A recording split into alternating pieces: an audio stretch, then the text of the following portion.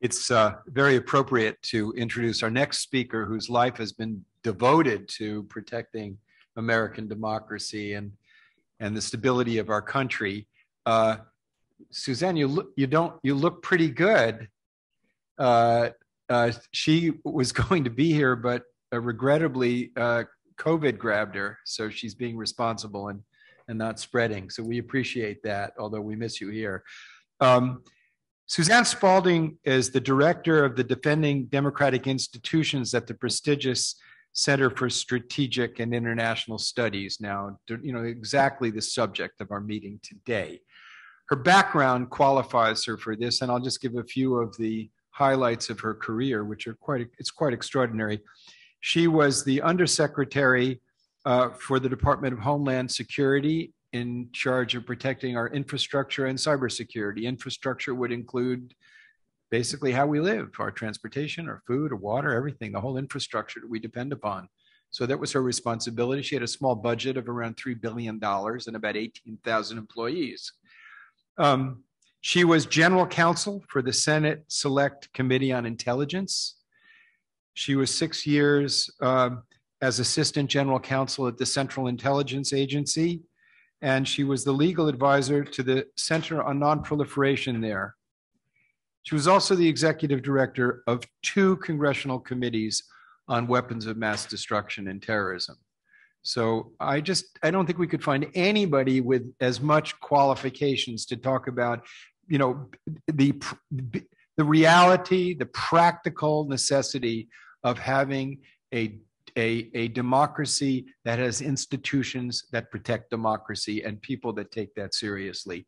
And I just want to say one thing, which when I was, many things in Suzanne's career have been profoundly impressive to me, but when she spoke out so vociferously about the impropriety of torture, as uh, with her credentials in the intelligence community and the legal community, that the illegality of it, the immorality of it, and the impracticality of it, and her courage and clarity on that has been consistent in the same way as her consistent career in public service. Suzanne, please. Oh, Jonathan, uh, thank you for that very kind introduction, and um, thank you to uh, for everything that you have done over so many years such a powerful voice you are for peace and justice in the world. And um, I'm just really grateful for our friendship over the years. And thanks for uh, including me in this really important conversation. Um, you've put me in a very tough position following that incredibly powerful statement from Congressman Raskin. Uh, really, just an outstanding job he did about laying out for us exactly what's at stake here. And Mark, uh, you as well. Thank you very much for what you do and what you have done, and and um, and again for, for for really grounding this conversation in in you know what's at stake here. And I have to say, unfortunately, that you know you talked about how nobody you know sort of has really thought about what if this this the system does what it's supposed to do, and then everybody you know a significant percentage of the population rejects that outcome rejects the legitimacy of 60 over 60 court cases. Uh, and i have to say i have to tell you that i spent i have spent a lot of time thinking about that prior to the 2020 election. Um, uh, and i actually wrote an op-ed in the run-up to the election talking about my fear that this is precisely what would happen. And i didn't push it for publication because i thought it was too apocalyptic uh, people would think it was, and that that I, you know, they'd see me as the person on the corner with the sign "The end is near." Um, so tragically, uh, you know, I think I think it was it is important for us to get our heads around those things. Jamie Raskin talked about the word coup, and that we don't we don't really conceive of that here. Um, but let me tell you why uh, I have spent so much time thinking about this and and how important it is for us to recognize just how precarious uh, our situation is in terms of sustaining our democracy and its ability to function. it really flows out of my time as the undersecretary at, D- at, DHS, as Jonathan described. So in 2016, I led the wonderful men and women who were working so hard to secure our election.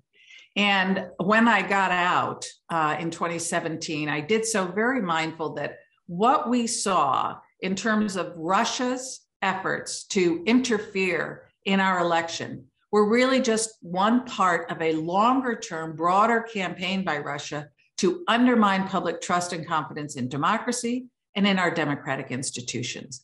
And so, my perspective on this starts with the research and the work I've done over the years to look at Russia's information operations uh, trying to undermine our democracy. But it's important to note, of course, that first of all, other countries, including China, but as the congressman noted, uh, this coalition of of, uh, of totalitarian regimes out there all have an interest in uh, in undermining trust around the world as well as in, in in the United States and Western countries in democracy.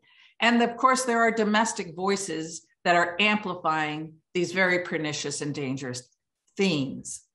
Uh, but I was really focused on knowing that Russia had not gone away after the election. They were here, they are here every day, continuing to push this.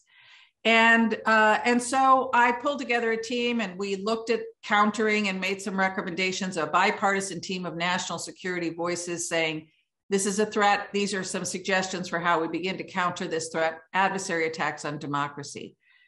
And then I did a little red teaming. Um, as Jonathan explained, I kind of grew up in the intelligence community. And I so I thought if I were Putin and I wanted to undermine democracy and public trust in democracy, where would I go next?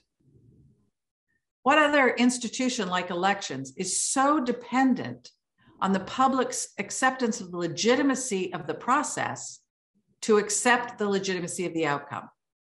And of course, being trained as a lawyer, I immediately thought of our justice system, right? So totally dependent on the public's willingness to accept the binding nature and legitimacy of the court's decision, whether you agree with it or not.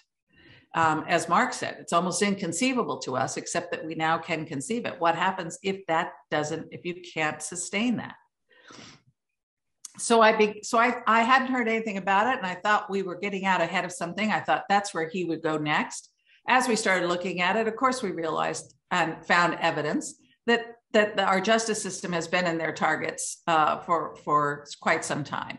And if you look at what has happened in Central and Eastern Europe, it should come as no surprise to us, right? We've seen how Russia goes after the justice system, goes after prosecutors, goes after courageous judges who are uh, attempting to investigate and prosecute corruption behind that Russia is behind uh, in so many of these countries, right? They know that the justice system can stand in the way of their efforts to move the world to a post truth reality. Because judges and courts are arbiters of the truth, right? As Mark described, you bring your evidence in front of the court. Each side gets their day in court, they get to make their case, and the judge weighs the evidence, and we accept them as arbiters of the truth.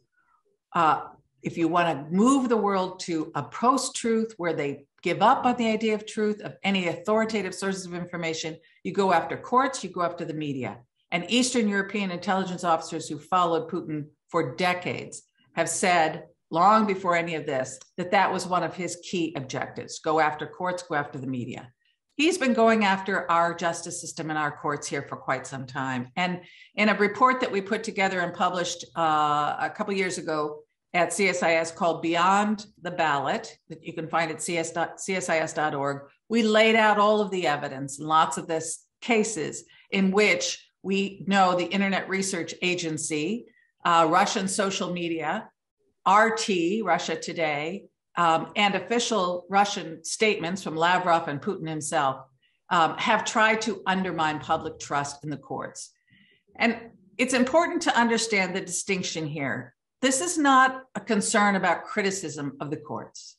As I think Mark said and others, that the, the, our system is not perfect. And our justice system certainly is not perfect. What Putin does is to grab hold of legitimate grievances, right?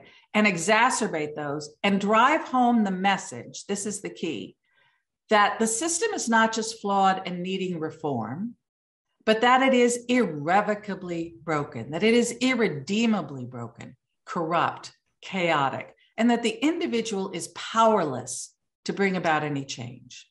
And the idea there is to get people to disengage. We lose our informed and engaged citizenry that we depend upon in democracy, or to take to the streets in violence, not to bring about change, but simply to express outrage. Um, the the so the Russian military doctrine talks about tapping into the protest potential of the population. They mean violent uh, uh, protests. I think they don't understand that a healthy democracy can deal with protests, but um, because for them, protest is an existential threat.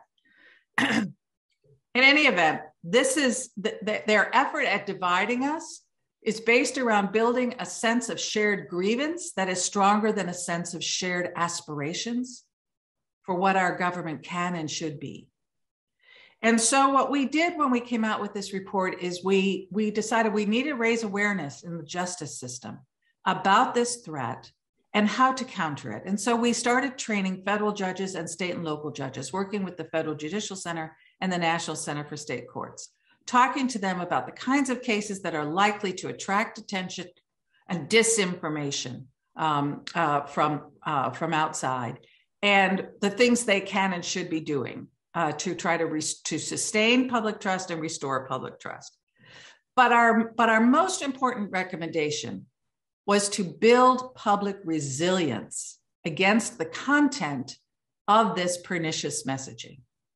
So if you go back to the themes that I said they're really trying to push, and they push it through a variety of narrative frames around racism, around immigrants, uh, uh, around the, the political elite, et cetera. But the bottom line that democracy is irrevocably broken and the individual is powerless. How do you build resilience against that?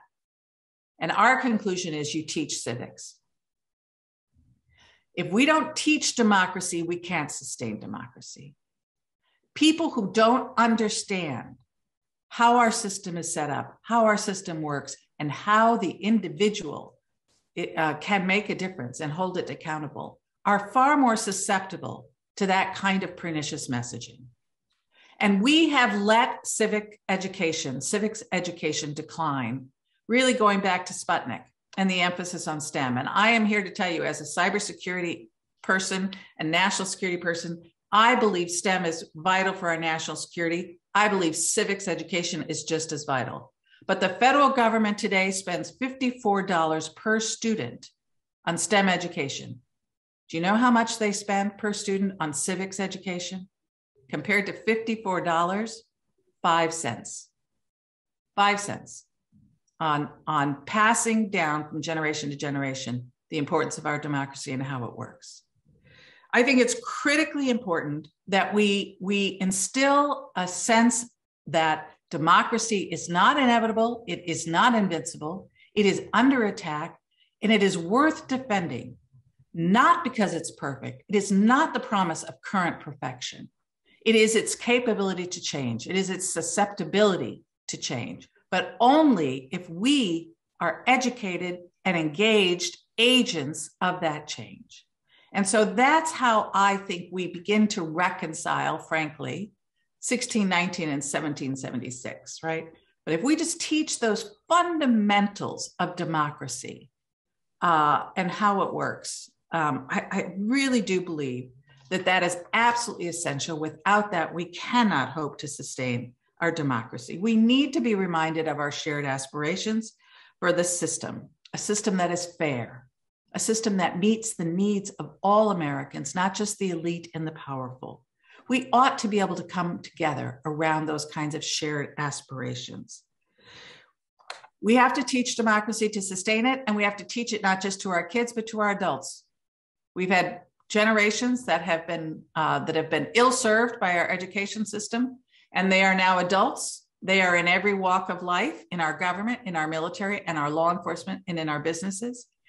And so next week, I am launching CSIS. Uh, we are launching a Civics at Work initiative where CEOs pledge to promote, be advocates for reinvigorating civics education in this country. They pledge to have civics conversations with their own workforces and they pledge to support civics activities in the communities where they have a presence. This is a whole of nation, urgent national security imperative. We will have Brad Smith of Microsoft, our first uh, co signer of this pledge, Tom Fanning of Southern Company, Deborah Enix-Ross, who I know you heard from and who is making civics a cornerstone of her uh, tenure when she becomes the ABA president. Great supporter and friend, um, and a number of others who will be participating in this program. Um, I will close with uh, something that I have been struck by for many years that I think is important to keep in mind. Some years ago, it struck me that our national anthem that we sing starts with a question and ends with that question. It never answers that question. The question is, uh, you know, oh, say, can you see? Do you see that flag? Right? We saw it at the start of the battle. We know it was there, right? At the start of that battle in uh, the War of 1812. We saw it through the night as the rockets in their red glare. But now the battle is over. The sun is starting to rise. And the question is asked again Does the flag still wave over the land of the free and the home of the brave? And I believe it is a challenge to us every day. It is up to us every day to make sure that the answer to that question is yes. Thank you.